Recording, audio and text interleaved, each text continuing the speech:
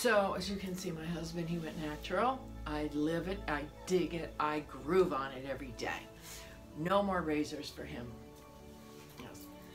And my gal here, her hair's wonderful. She lets it grow, grow, grow, grow, and it's gotten really long, you know. Sometimes we'll just cut a little bit down and then Yeah. we'll give it to Well, this is just a continuation of my armpit hair up here. El natural. Yep.